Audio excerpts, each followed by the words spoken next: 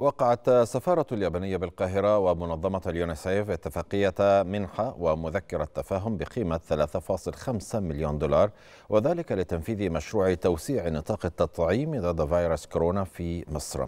يأتي ذلك في إطار التعاون الوثيق ما بين مصر وشركاء التنمية متعددي الأطراف لدعم خطط الدولة للاستجابة لجائحة كورونا. هذا ويهدف هذا المشروع من خلال زيادة عدد مراكز التطعيم إلى ضمان التطعيم الفعال من خلال عدد من الأنشطة المقترحة التي تعزز تسريع وتيرة عملية التطعيم ضد مرض كورونا.